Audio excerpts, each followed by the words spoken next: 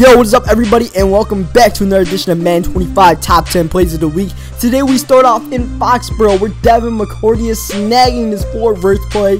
He was running four verts trying to get a play there before the end of the half. We were baiting it the whole time and we get a nice interception there. Now play number 9, big man's got moves. Jared Cook Jr. is a tight end, but he's also one of the most athletic tight ends in the game as he completely shakes and bakes that guy, put him on the ground, and put up seven more points in that complete blowout there. Now play number 8. Will the real Matty Ice please stand up? I'm not talking about Matt Ryan. I'm talking about Matt Sky here. Finding Justin Blackmon with 15 seconds left for the go-ahead touchdown. He's got ice water in his veins. Now play number 7. Camping for a pick. Look at you Harrison Smith there. Just standing until the last possible second. We go up and snag that pick. Get a nice animation to boot. And then Harrison Smith trying to make something happen here. And he's got some space until he loses the ball there. Flipping over, trying to flip over an uh, offensive lineman. Or else that play probably would have been higher. Now play number 6. Skying for the screen. I'm running out of plays for these, running out of names for these screen picks here.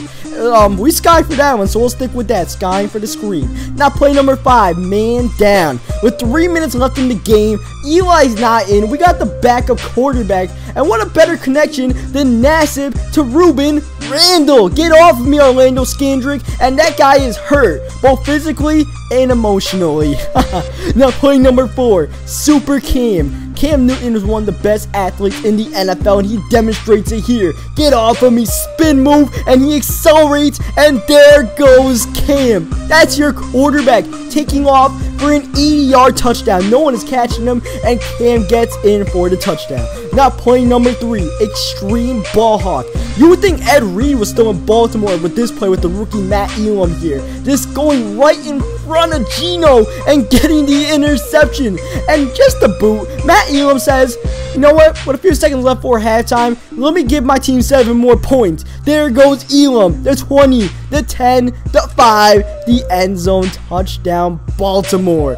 Now play number two. Julio Bulls a strike. Look at Julio Jones with no regard for any Cincinnati Bengal on the field. Boom! Ha! Got him both. That's a strike. Whenever guy goes down, Roddy picks up the key block, and Julio is in for the touchdown there to extend the lead. And now play number one is actually two plays here. And this is just RG3 being RG3 here. We're down one, under a minute left in this MUT game. Pressure coming, and RG3 does 360 twirl there and throws it to Santonio Holmes, who breaks that tackle with a boot and gets all the way near field goal range. And just to just make us consider in field goal range, RG3 spins his way to get about nine extra yards there. What an effort by RG3. And along with Santonio Holmes, but oh man, just clutch plays on the run there. That spin move was filthy. I bet you he's pretty mad about that. But we'll take this W here. So hope you guys leave a like on the video if you enjoyed it. Subscribe for more Madden 25 top 10 plays of the week. And I will catch you guys next time.